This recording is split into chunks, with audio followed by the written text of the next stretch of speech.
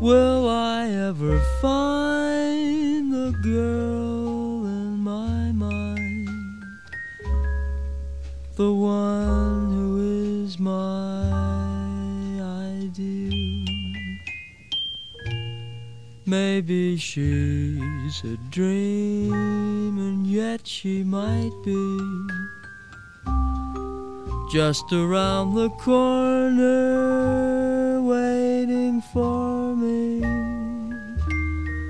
Will I recognize the light in her eyes that no other eyes reveal? Or will I pass her by and never even know that she was my